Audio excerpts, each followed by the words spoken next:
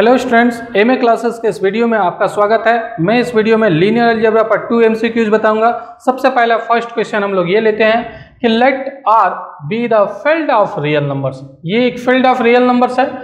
And v is a vector space of all functions from r into R which are continuous क्या कहता है question जरा समझिए। कि हम लोग क्या कर रहे हैं कि सेट ऑफ़ रियल नंबर जो फ़ील्ड होता है, और आर से आर में ही हम लोग फ़ंक्शन डिफाइन कर लेते हैं। मान लेते हैं एफ़ फ़ंक्शन है, और ये ऐसा फ़ंक्शन लेना है जो कंटिन्यूस होगा, और वो सारे कंटिन्यूस फ़ंक्शंस का एक कलेक्शन बनाएँगे, और उसको हम लोग भी कर रहे हैं। तो भी एक वेक्टर स्पेस हो जाएगा। भी क्या कर रहे हैं हम लोग?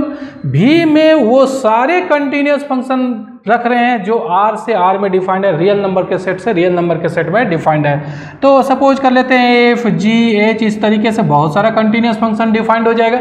उस कंटिन्यूस फ़ंक्शंस के कलेक्शन को ही हम लोग भी कर रहे हैं ये वेक्टर स्पेस होता है। तो vector space of all functions from R into R which are continuous अब आगे क्या कहता है कि if T F of X equal to this integral क्या इंटीग्रल है? एफ़ ऑफ़ टी को इंटीग्रेट करना है with respect to T from zero to X इस तरीके से एक मैपिंग डिफाइन किया जा रहा है। जहाँ पर एफ़ कहाँ का मेंबर रखना है भी का कोई भी मेंबर रख सकते हैं।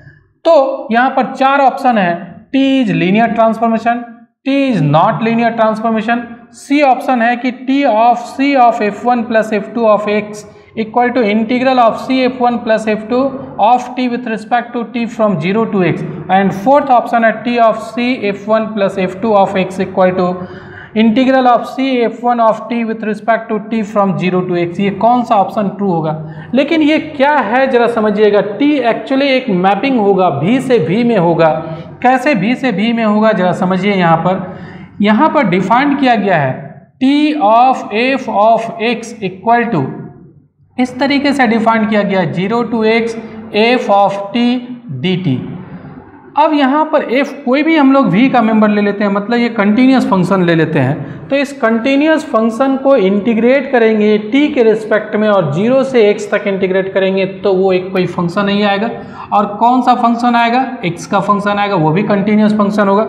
इफ़ कंटिन्यूस फ़ंक्शन इंटीग्रेट करेंगे तो वो कंटिन्यूस फ़ंक्शन आएगा। तो फाई जो है, वो भी भी का मेंबर आ गया। सपोज़ कर लेते हैं कि इसका इंटीग्रल फाई आ रहा है तो फाई भी एक भी का मेंबर हो गया, अगर एक्स दोनों साइड से हटा दे तो T of F equal to क्या आ रहा है? फाइव आ रहा है। तो ये एफ़ का इमेज बता रहा है। T image of F equal to five ऐसा कर सकते हैं कि यहाँ पर टी एक मैपिंग हो जाएगा भी से भी में, और एफ़ का जो इमेज आ रहा है, वो क्या आ रहा है? फाइव आ रहा है। T of F equal to five और फाइव भी जो है, वो कंटिन्यूस फ़ंक्शन है मतलब भी का ही मेंबर होगा तो टी से टी जो है वो एक मैपिंग हो गया भी से भी में। अब ये लीनियर ट्रांसफॉर्मेशन है या नहीं? तो लीनियर ट्रांसफॉर्मेशन के लिए क्या करना पड़ेगा? सिर्फ़ हम लोग को देखना पड़ेगा कि लीनियरिटी प्रॉपर्टी सेटिस्फाई करता है कि नहीं। तो आप देखिए, मैं यहाँ पर बता रहा हूँ।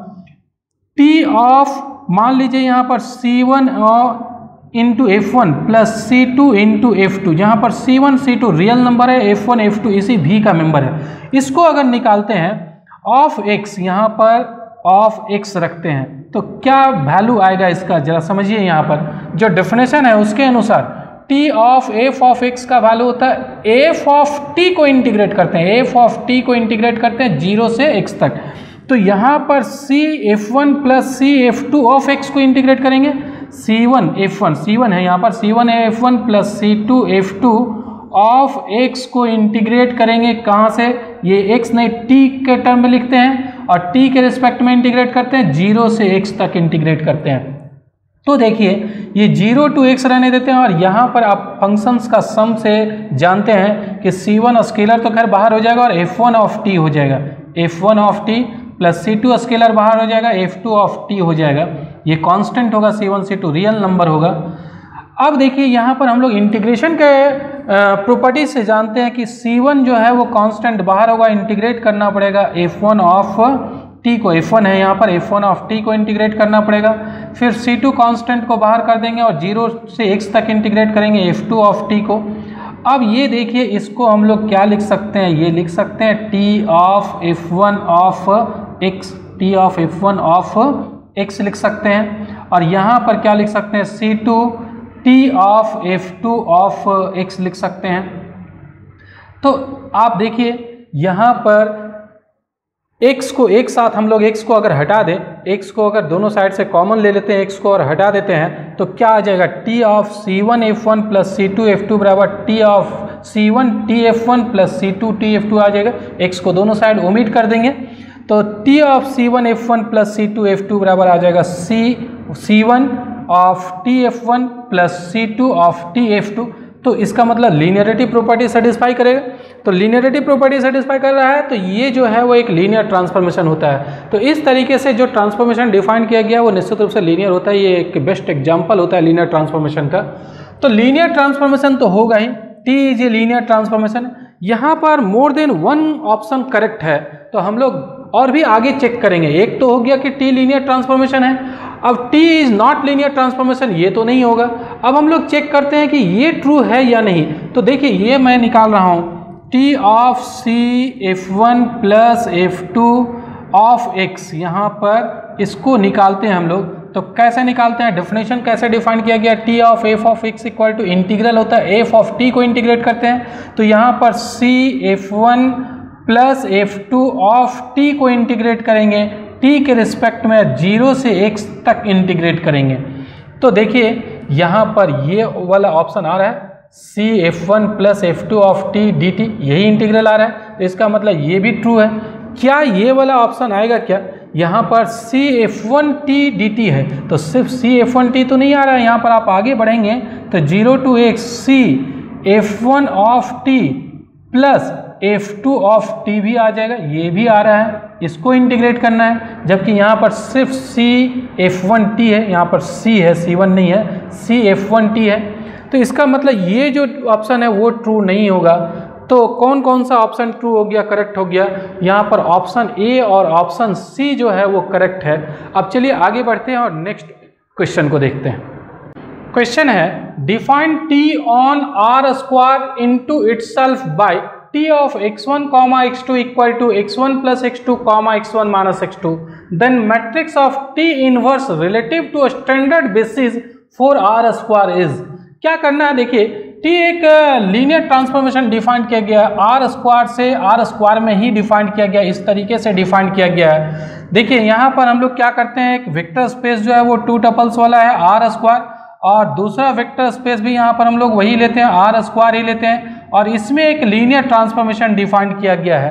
तो डिफाइंड इस तरीके से किया गया है कि x1 x2 का जो इमेज है, वो x1 वन प्लस एक्स और कॉमा x1 माइनस एक्स आप देख रहे हैं x1 plus X two comma X one minus X है। इस तरीके से डिफाइन किया गया है। तो इसका क्या करना है? मैट्रिक्स ऑफ़ टी इनवर्स इस लीनियर ट्रांसफॉर्मेशन का जो इनवर्स ट्रांसफॉर्मेशन होगा, उसका मैट्रिक्स निकालना है। तो लीनियर ट्रांसफॉर्मेशन तो एक मैपिंग ही होता है। तो इस मैपिंग का इन्वर्स पहले निकाल लेंगे। तो इन्वर्स निकालने के लिए क्या होगा? आर स्क्वायर से आर स्क्वायर में होगा। इन्वर्स जो होगा वो खुद भी आर स्क्वायर से आर स्क्वायर में ही आएगा। तो देखिए कैसे निकालते हैं। अगर मान लेते हैं कि एक्स वाई यहाँ पर एक कोई भी एलिमेंट है और इसका इमेज अगर R of R comma T है, क्या कर रहे हैं? कि एक्स वाई का इमेज हम लोग मान लेते हैं आर कॉमा टी है। तो क्या करेंगे अब हम लोग? यहाँ इन्वर्स जो डिफाइंड होगा उससे T inverse of R comma T का वैल्यू हो जाएगा एक्स कॉमा वाई अगर एक्स वाई जो है वो आर टी के साथ एसोसिएट हुआ है तो टी इनवर्स में आर कॉमा टी एसोसिएट होगा किसके साथ? एक्स वाई के साथ एसोसिएट होगा। जस्ट अपोजिट हो जाएगा। एक्स वाई यहाँ आर टी के साथ एसोसिएट हो रहा है टी लीनियर ट्रांसफॉर्मेशन से तो टी इनवर्स से क्या होगा? आर कॉमा टी जो है वो एक्स कॉमा वाई के साथ एसोसिएट हो जाएगा। तो हम लोग क्या करेंगे? आर का वैल्यू निकालेंगे एक्स वाई के टर्म में। तो देखिए, यहाँ पर हम लोग लिख रहे हैं कि T of X comma Y equal to R comma T मान लेते हैं। और कैसे लीनियर ट्रांसफॉर्मेशन डिफाइन किया गया है? देख रहे हैं एक्स वन और एक्स टू का टी इमेज कैसे निकालते हैं? एक्स वन प्लस एक्स और एक्स वन माइनस एक्स तो यहाँ पर हो जाएगा एक्स प्लस वाई और एक्स माइनस वाई हो जाएगा। और ये किसके बराबर है? आर कॉमा टी के बराबर। तो यहाँ से x plus Y equal to R आएगा और x minus Y equal to T आएगा। अब दोनों का आप ऐड कर लीजिए टू एक्स आएगा, ये कैंसिल हो जाएगा, यहाँ से r प्लस टी आएगा, यहाँ से x का वैल्यू आप निकाल सकते हैं टू इधर डिवाइड करके। तो one by two R plus one by two T आएगा। फिर दोनों को अगर हम लोग सब्ट्रैक्ट कर लेते हैं तो ये एक्स एक्स कैंसिल हो जाएगा two Y equal to R minus T आएगा।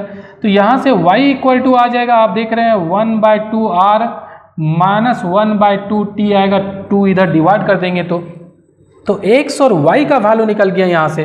तो T inverse R comma T का वैल्यू जो है वो एक्स वाई था। और एक्स और वाई का वैल्यू हम लोग कितना निकाल लिए? एक्स का वैल्यू निकाले हुए हैं। One by two R plus one by two T comma Y का वैल्यू निकाले हुए हैं। One by two R minus one by two T. तो अब आर और टी नहीं लिख करके आप एक्स वाई लिख सकते हैं, उससे कोई फ़र्क नहीं पड़ता है। तो T inverse of X comma Y equal to आ रहा है। आप देख रहे हैं यहाँ पर आर के जगह एक्स पुट कर दे रहे हैं टी के जगह वाई पुट कर दे रहे हैं। तो यहाँ पर हो जाएगा one by two X plus one by two Y comma one by two X minus one by two Y तो ये इन्वर्स ट्रांसफॉर्मेशन निकल गया। इस तरीके से आप इन्वर्स ट्रांसफॉर्मेशन निकाल सकते हैं। किसी भी मैपिंग का इन्वर्स ट्रांसफॉर्मेशन इस तरीके से निकाला जा सकता है। अब जरा देखिए, जब इन्वर्स ट्रांसफॉर्मेशन निकल गया तो इसका मैट्रिक्स पूछा जा रहा है with respect to standard basis. तो देखिए स्टैंडर्ड बेसिस के रिस्पेक्ट में मैट्रिक्स निकालने का एक शॉर्टकट तरीका होता है टी इनवर्स का निकालना है। मान लीजिए स्टैंडर्ड बेसिस बी है, इसका मैट्रिक्स निकालना है तो बड़ा आसानी से निकाल सकते हैं। शॉर्टकट तरीका होता है डायरेक्ट हम लोग लिख सकते हैं इनवर्स को, ये ट्रांसफॉर्मेशन को देखते हुए। क्या करना है? एक्स और वाई यहाँ पर दो वेरिएबल है टू टपल्स है तो एक्स का कोएफिशिएंट यहाँ लिखना है वाई का कोएफिशिएंट यहाँ लिख दीजिए। फ़र्स्ट रो बना दीजिए x और वाई का कोएफिशिएंट को। और जो दूसरा इसका जो सेकेंड कंपोनेंट है, ये टू टपल्स का, उसका कोएफिशिएंट से यहाँ पर हम लोग बनाएँगे वन बाई टू और माइनस वन बाय टू ये जो मैट्रिक्स बना, यही इस लीनियर ट्रांसफॉर्मेशन का मैट्रिक्स बन जाएगा। लेकिन ध्यान दीजिएगा, ये स्टैंडर्ड बेसिस के रिस्पेक्ट में ही ये सिर्फ़ शॉर्टकट तरीका है, दूसरे बेसिस के रिस्पेक्ट में नहीं। स्टैंडर्ड बेसिस रहे तो ये हम लोग डायरेक्ट लिख सकते हैं। तो ये मैट्रिक्स निकल जाएगा और यही निकालना था। One by two, one by two, one by two minus one by two. देखिए कौन सा ऑप्शन करेक्ट है? सी ऑप्शन जो है वो करेक्ट है। One by two, one by two, one by two minus one by two. तो यहाँ पर देख रहे हैं, matrix of T inverse relative to standard basis for R square. Standard basis के रिस्पेक्ट में निकालना था तो ऑप्शन सी जो है वो करेक्ट ऑप्शन होगा। तो इस तरीके से आप इन्वर्स ट्रांसफॉर्मेशन का भी आप ये निकाल सकते हैं मैट्रिक्स। देखिए, मैं एक सवाल दे रहा हूँ। आप लोग बताइएगा कि कौन सा ये इसका इन्वर्स हम्म, ट्रांसफॉर्मेशन निकलेगा। T of X comma Y equal to मान लेते हैं ये टू एक्स प्लस वाई और एक्स माइनस वाई इस तरीके से डिफाइन किया गया है। तो आपको बताना है T inverse of X comma Y जो है वो कौन सा ट्रांसफॉर्मेशन होगा, आप कमेंट बॉक्स में ज़रूर बताइएगा। और वीडियो अगर पसंद आ रहा है तो सबसे पहले आप लाइक कीजिए, अपने फ्रेंड्स के साथ शेयर कीजिए, और चैनल को सब्सक्राइब नहीं किया तो सबसे पहले सब्सक्राइब कर लीजिए, और मिलते हैं नेक्स्ट वीडियो में फिर टू एम लेकर के। इस वीडियो को देखने के लिए बहुत बहुत धन्यवाद। Thank you